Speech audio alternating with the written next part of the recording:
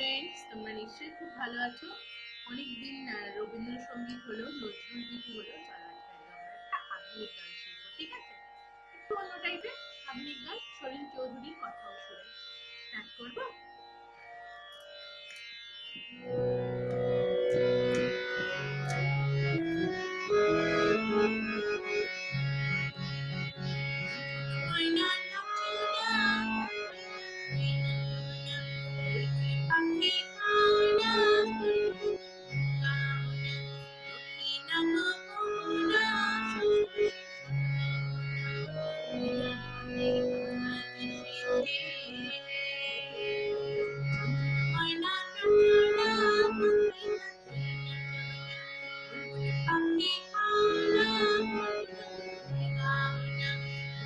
Thank you.